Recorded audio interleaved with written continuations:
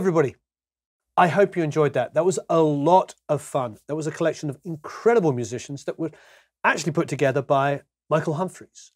Michael is a wonderful guitar player, incredible guitar player, incredible piano player, arranger, musical director, and kind of a TikTok star, actually. And maybe we'll put a TikTok link under here as well for you to check him out, as well as being pretty huge on Instagram.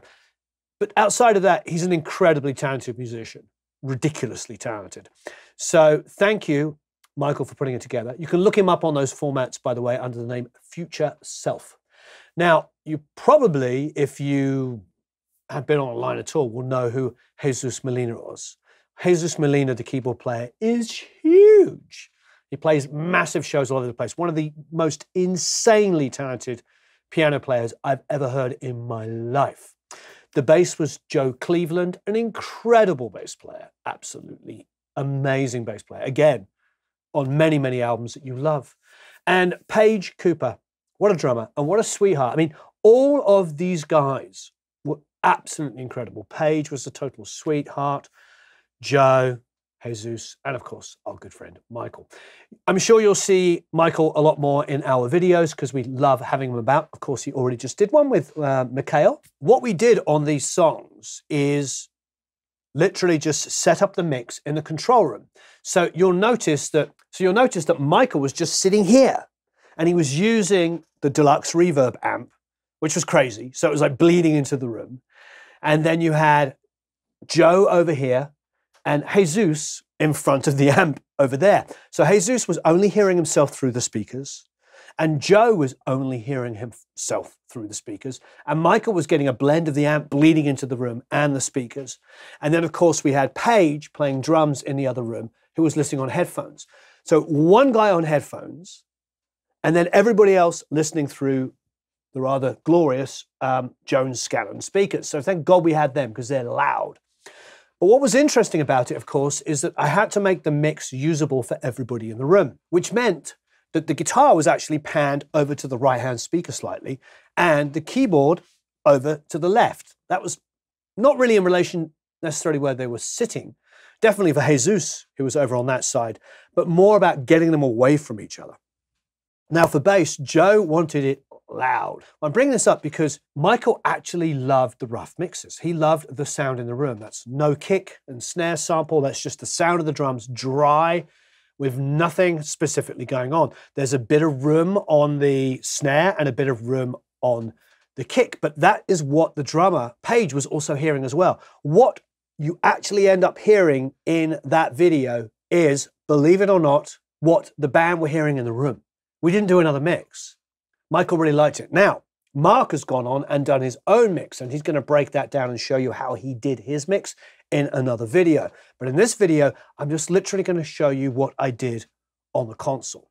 What is interesting about this, in all honesty, is like this was pretty much our starting point when we come and mix on the console and our hybrid workflow with tiny tweaking just tiny tweaking for the people in the room. I never thought that this was going to be the final mix.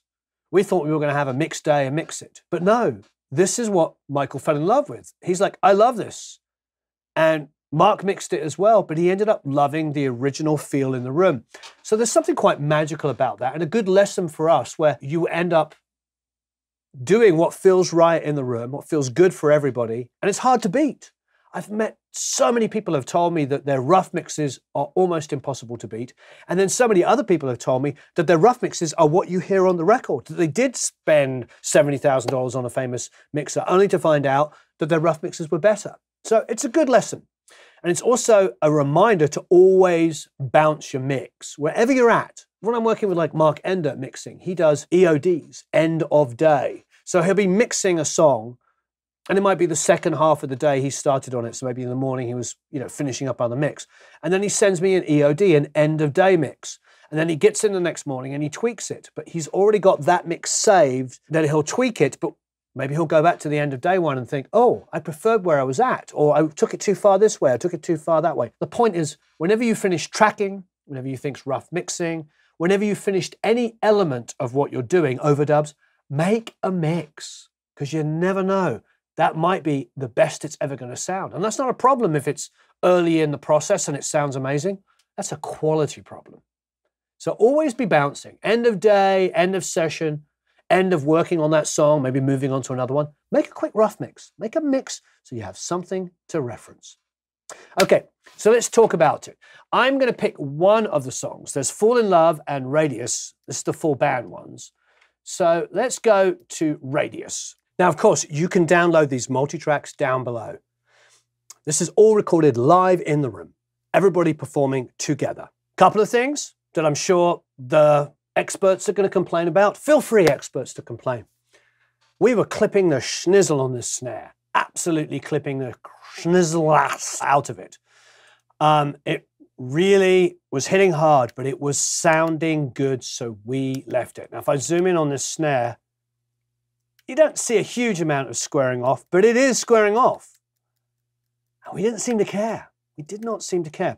So if I listen to the drums for a second,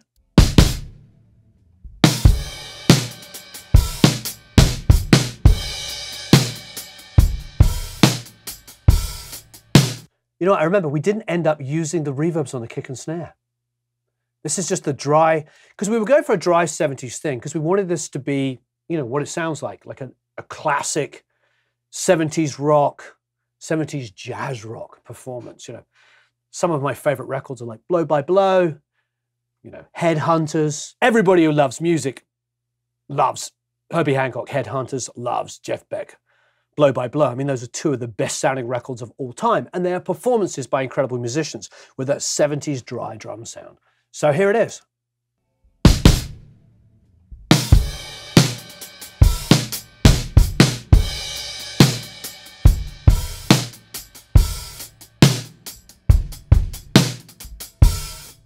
And that's the mic on the outside of the kick, snare top, snare bottom mic, individual tom mics. The way the drummer played was fantastic, so the articulation of the toms, the bleed is almost non-existent.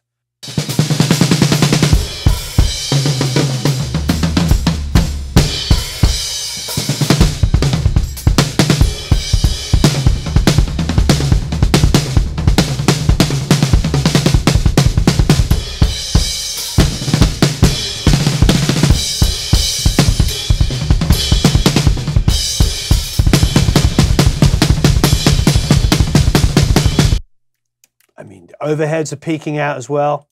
Now we did have one advantage, one massive, massive advantage.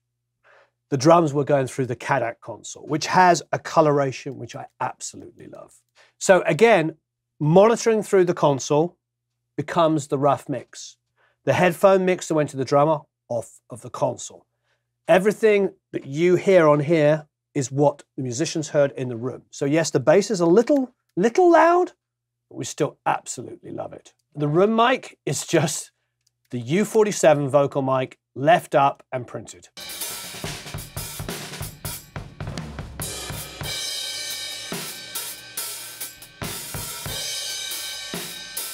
So it's just where the vocal mic would be, reflected off of the glass.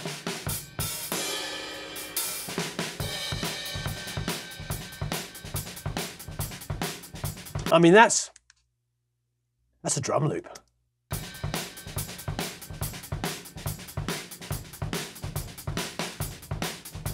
I mean, take that and write a new song over it.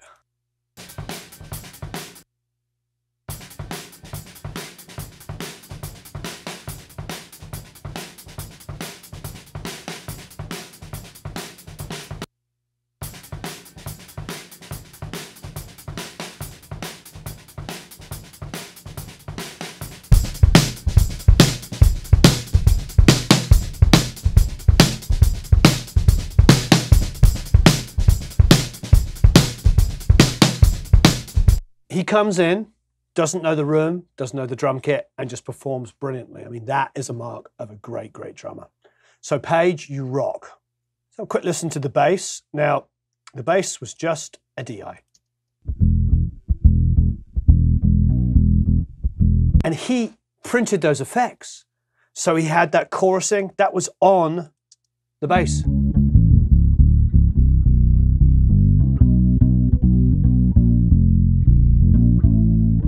All of the compression and EQ, everything is on the console.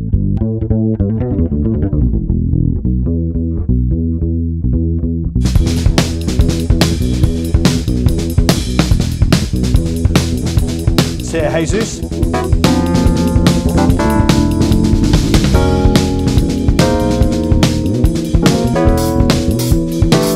Right, Michael.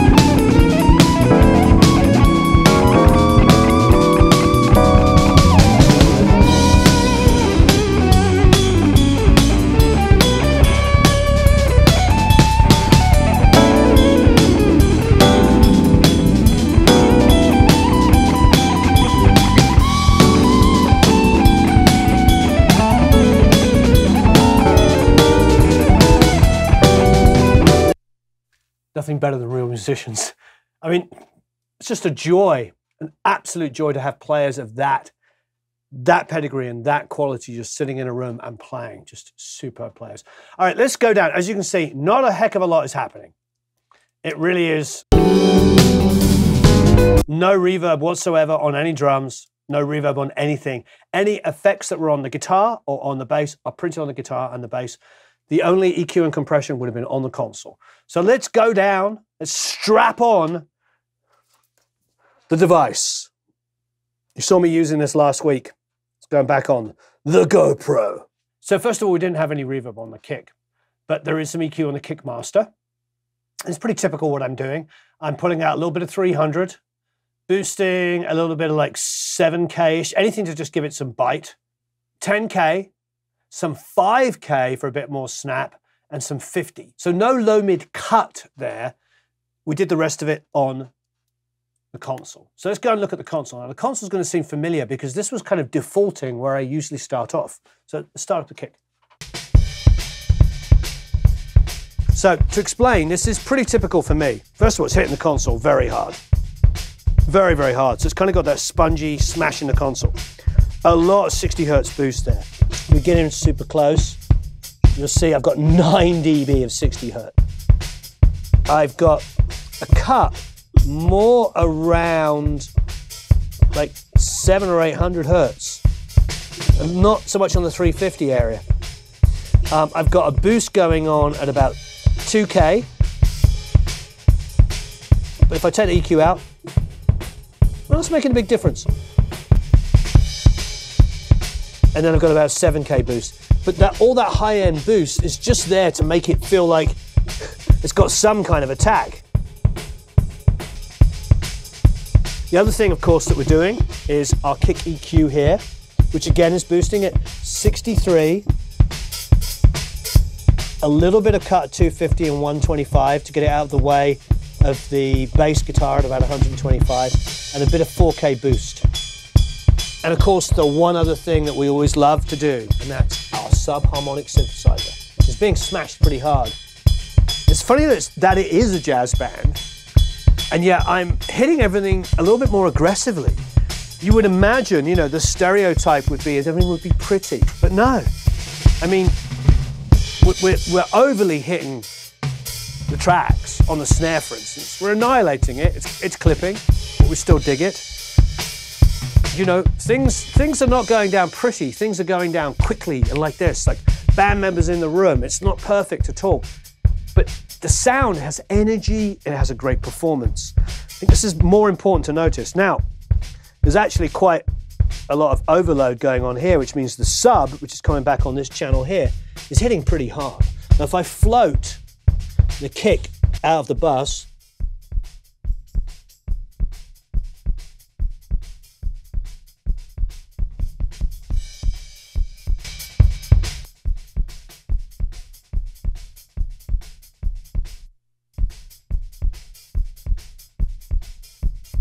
So still quite a lot of low end.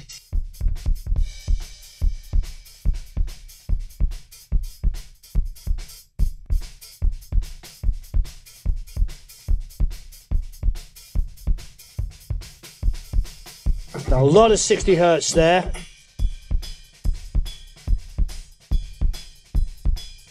Bring back in. Pushing a lot there.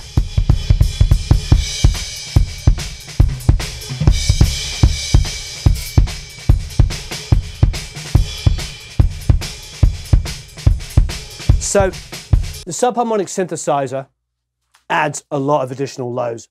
Really, really cool. I have no problem, you know, no problem really boosting that kind of low end and car carving out some of the low mids like that. Like I said, you go and look at Joe Chiccarelli, who's one of the greatest engineers that ever lived, let alone greatest engineer at the moment. He does so much dramatic EQ on his drums to get them to sound so amazing. I'm not afraid of doing that at all. Okay, let's listen to the snare top and snare bottom. So it's going into a snare master EQ, which is really just, yeah, just a boost at like 7.5K essentially. Um, so everything you're going to hear on this is really being done on the console. We didn't use any reverb. There's some time adjuster, which is knocking it back in time with the overheads so that the overheads and snare print in phase.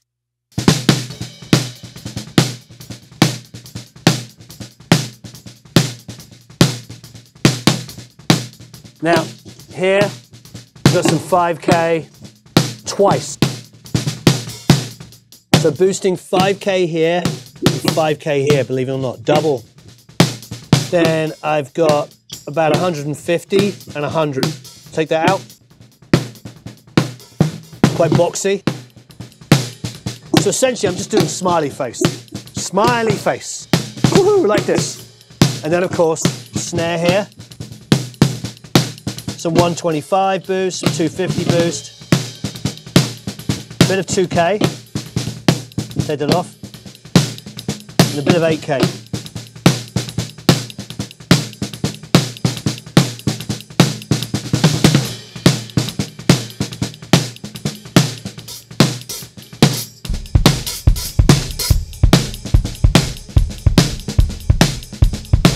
Now, I think the toms are where I probably did the most drastic amount of work in the box. So if I take this section here of the toms, Again, I've got time adjuster, which is knocking it back in time. Now, some people drag the tracks and move them back, but it's knocking back in time with the overheads. So I just calculate the waveform, looking at the waveform on the toms and the waveform on the overheads and just make them match. So if it's like, in this instance, it is 97 samples and I brought it back. So it's time adjuster on both of them. Now I'm getting quite aggressive. So I've got 78, so about 80 hertz is just wiped off. And I'm actually limiting them.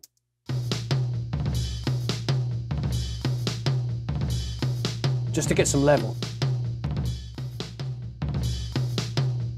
And then our bass, which is at 80 hertz. Now you're probably saying, well, he just like high pass to 80 hertz. That's, that's, something I do a lot. So I'm cleaning up underneath. If I boosted 80 hertz on its own, the 80 hertz would come up, but so would also like 60 and 40 and all this unknown kind of low end on a tom, which I don't need on a rack tom.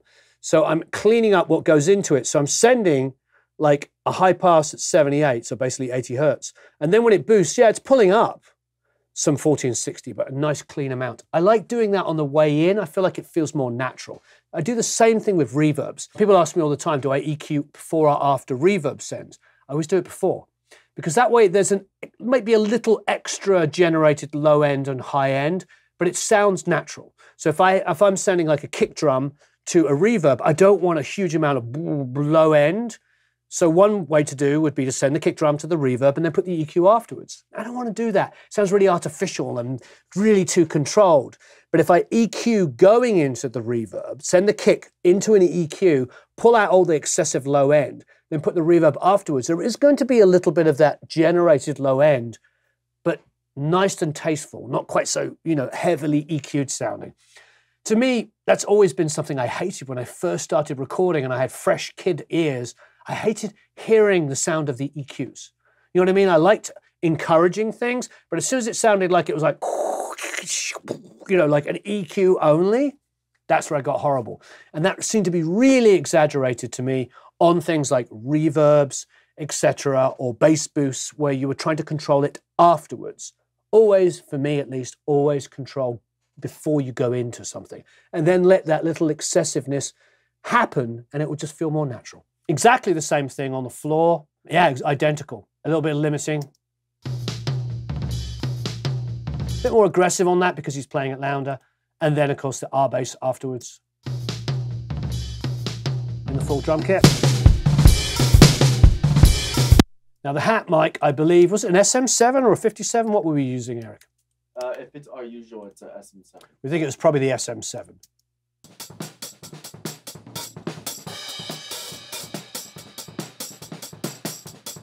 And the overheads?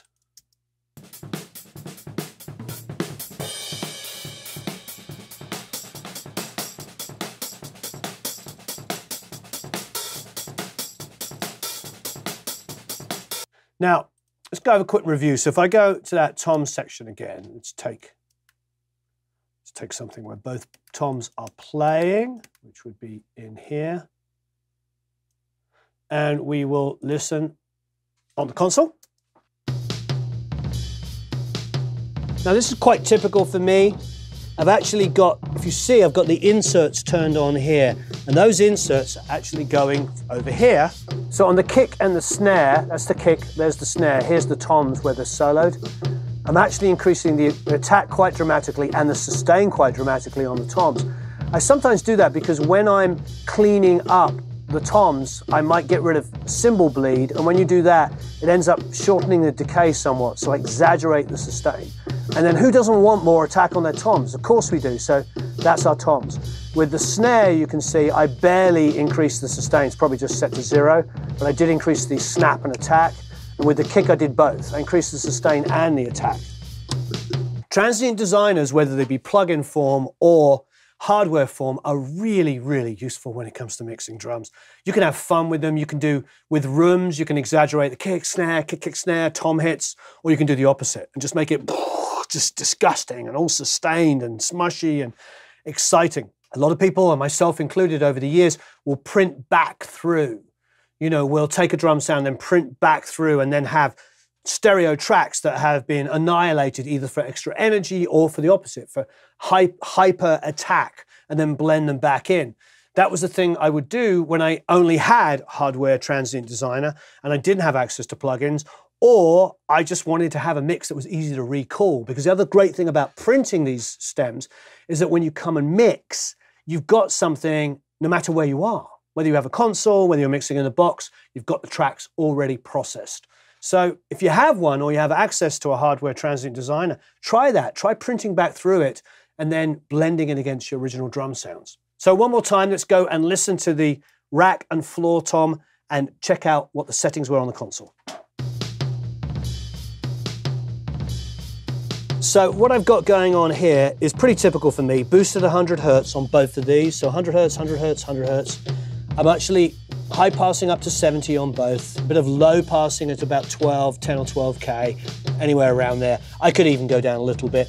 And then there's quite a dramatic boost at like 6K for just, for just like high-end attack. Plus we've got, of course, the Transient Designer doing that. Then a bit more attack at about 4K here, more there. But this is really the biggest thing.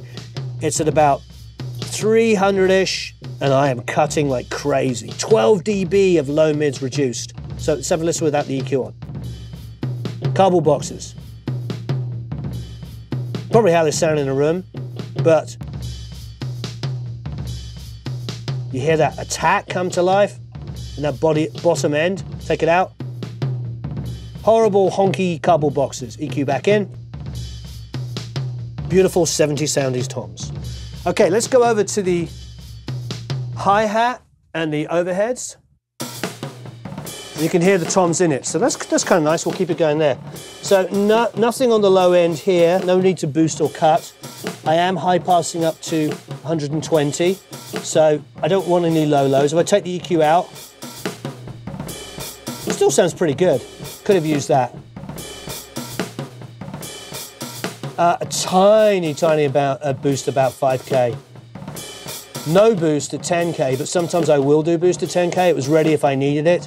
Mainly a cut at 350 again, and no boost at low end. So, so mainly low mid cut, and a tiny amount of high mid boost.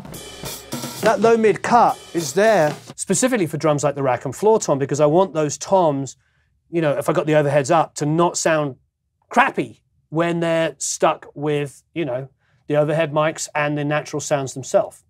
Uh, all right, last but not means least is the room mic, which of course was the U48, pointed in the singing position kind of really generically.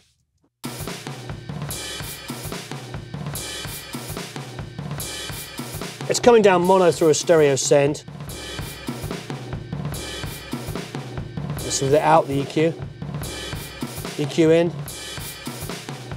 I'm cutting at about 80, 70, 80, high passing up to about 70 or 80, boosting at about 9 or 10k, little boost at 7k, so a nice lift from like 7, 8, 9, 10, and then quite a huge cut, well, not a huge, huge, but a relatively big cut at about 3 or 400. Out. Back in. You can hear the difference. It's the low mid cut that's biggest. Now, it's, it's barely compressing, but what you're hearing as compression is a vocal mic setting that we were using where we were going through our BAE 1028, going into our DBX 165 into our 1176. So this was a quite aggressive compression because somebody who was singing on it may have been doing, you know, ain't no sunshine when she's gone. But when there's a drummer going crazy in there, the compression is pretty dramatic. So have a listen.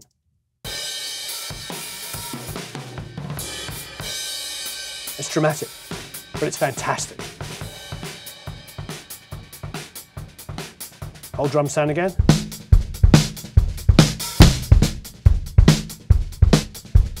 As you can see, the room mic's not very loud, but you can try that. You can try putting a room mic up. You can do whatever you like. You can put some samples in there. You can use reverb on the kick and snare. You can go crazy.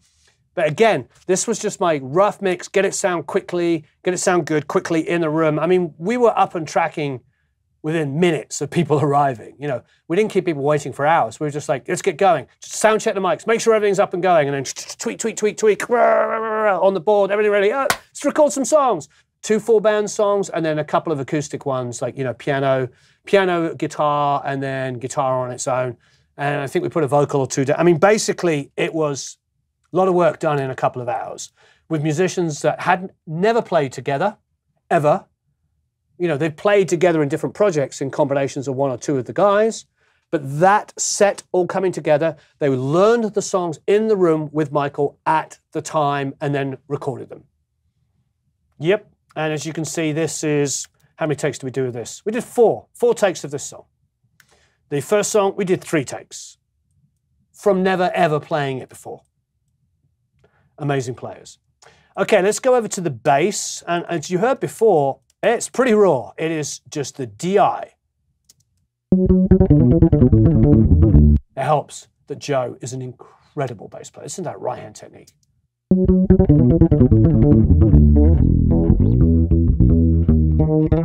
you.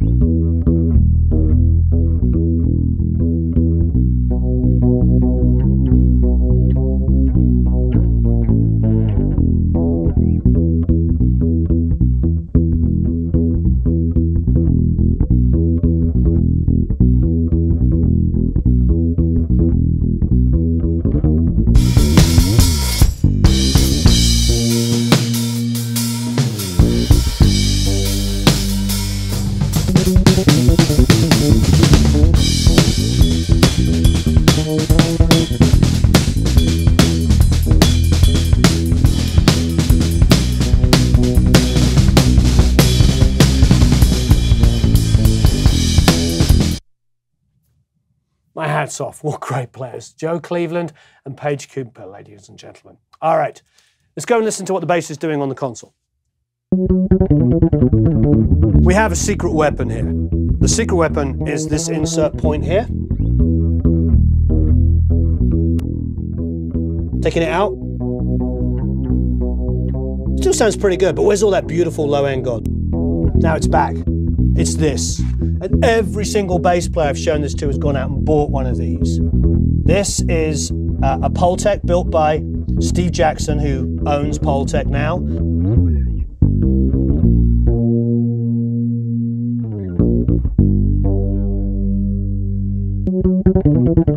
Oh, such a great bass player. Also, keeping the cue nice and tight. So what happens, you've got this big boost, but then you're attenuating it, so just focuses the boost a little bit more. So it's not just big, sloppy, low-end boost. And then the next thing is we're doing some 3K boost quite dramatically.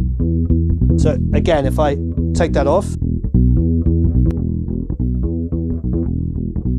back on, Now I am high passing it at about 50. So I'm getting it out of the way of the kick drum.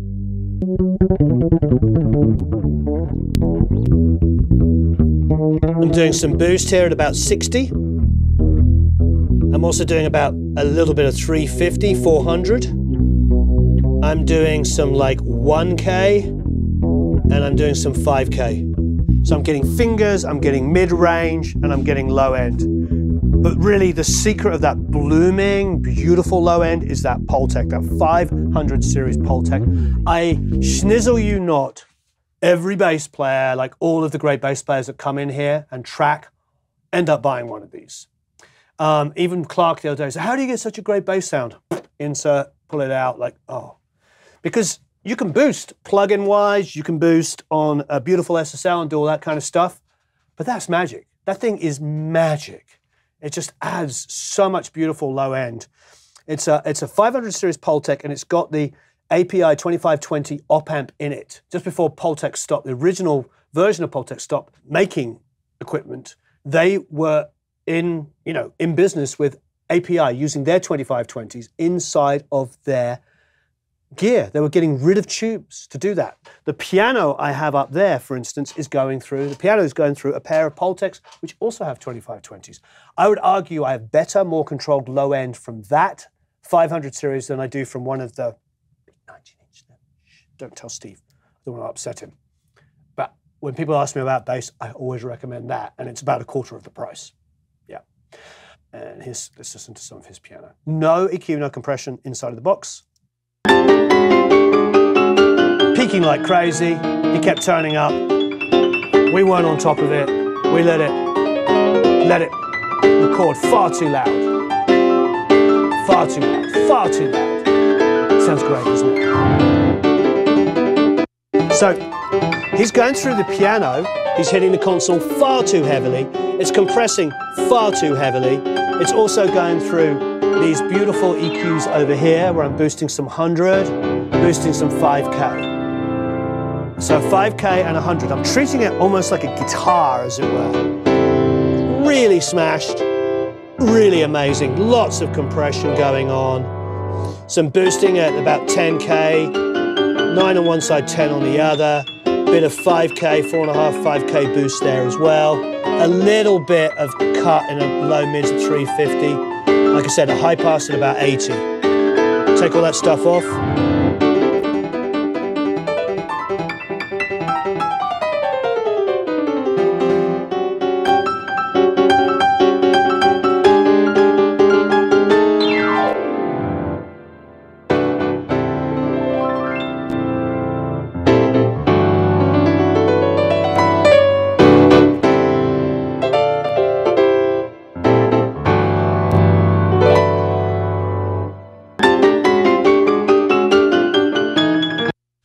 How to explain it, but that compression, that EQ that the SSL gives with the Pultecs and that extra kind of bite and that extra kind of low end, I don't know, it makes it sound like a record. If I take all that stuff out again, just listen to it. It's great. It sounds like a Nord, but doesn't it sound digital and perfect?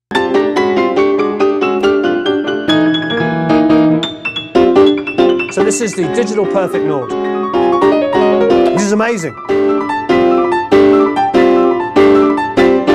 Now put this back in.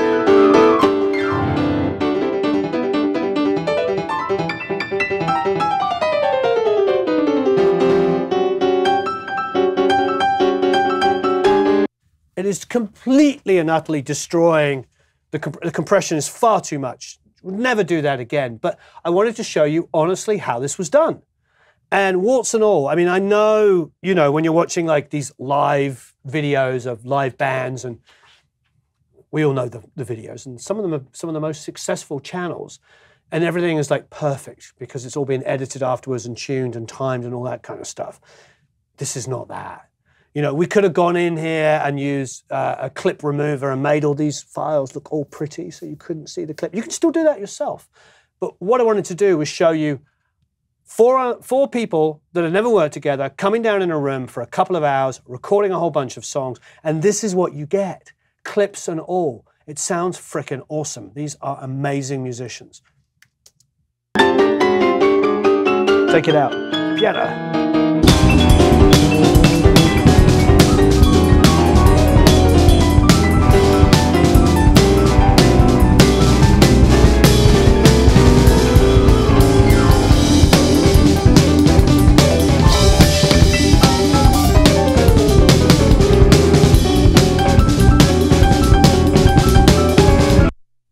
There's something to be said with just energy and capturing the moment. As our good friend Ulrich Wild says, when somebody says to him, What's the best microphone to use? He's like, The one that's in your hand. Whatever your tools are when you're ready to go, it's like, Sure, would I have liked to have sound checked this, or would I have liked the fact that, you know, he obviously at that point in the song turned his volume up, put his foot down on the pedal, and clipped it? Yeah, it would have been nice maybe, but also, if we had turned it down, brought it down, and click on that, we would have lost the energy and the extra attack. There's a lot of reasons why it sounds good and works. So many of the greatest recordings have these problems. And I don't have a problem with that. I'm sure many of you do because, you know, people like to have opinions on it. But this is how it was done. So it was recorded, it was clipped, it wasn't perfect. Goodness, it sounds fantastic. Absolutely fantastic. Last but no means least, is Michael's guitars. I didn't do any compression or EQ. All the reverb is from the amp, all the effects, all the playing is all Michael. No DI, just the amp.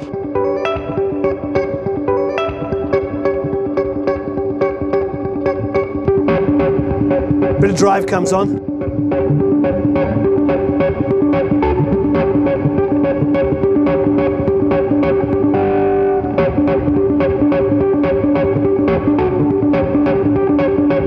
Amazing. I have so much fun mixing this.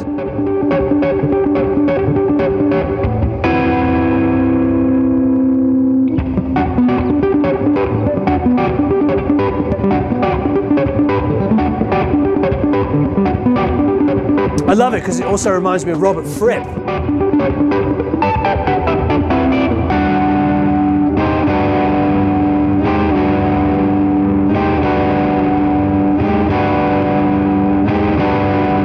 Bit of 300 boost going on there, a bit of like 800 cut, a little bit of 2K cut, a little bit of 5K boost, 8K and above is taken out, and like 80 and below is taken out. Let's see what it sounds like with and out.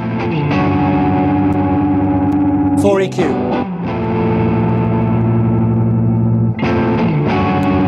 After EQ and compression.